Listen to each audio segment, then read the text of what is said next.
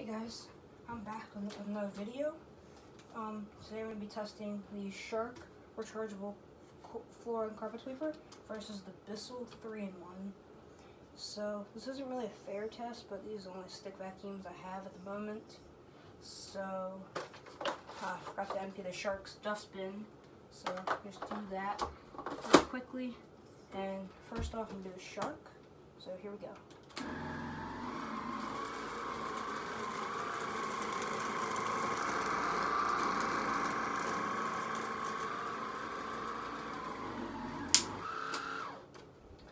As you can see, did pretty good. So now we're going to do the Bissell.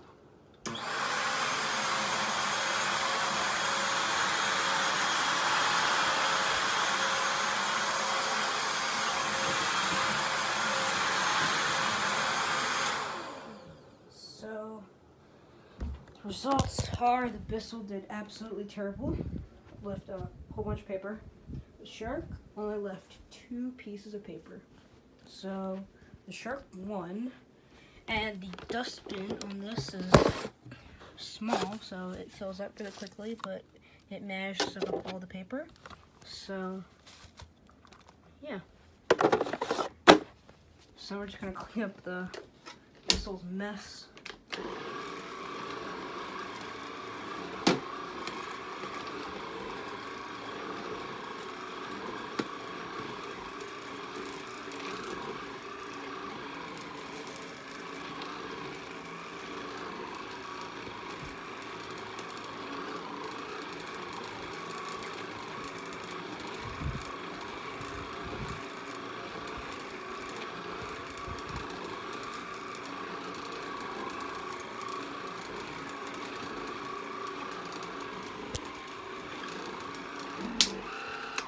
So yeah, the shark obviously wins this test, so yeah.